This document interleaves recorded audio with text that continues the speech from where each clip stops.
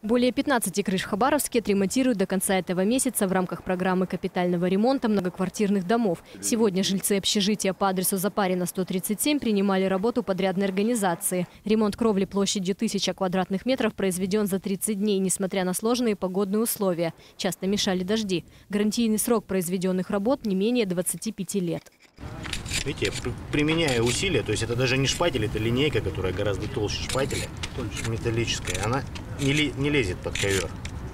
Конечно, если молотком ее забивать, можно забить, но тем не менее это говорит о том, что материал наплавлен качественно. Стоимость работ была по протоколу 2 миллиона 885 тысяч. Региональный оператор выставил документы на конкурс, ну, с конкурсным снижением стоимость работ стала 2 миллиона 277 тысяч рублей. По словам специалистов, в этом году количество обращений в фонд капитального ремонта в разы увеличилось. В первом полугодии в адрес регионального оператора поступило 600 заявок. Около 500 из них будут реализованы до конца этого года.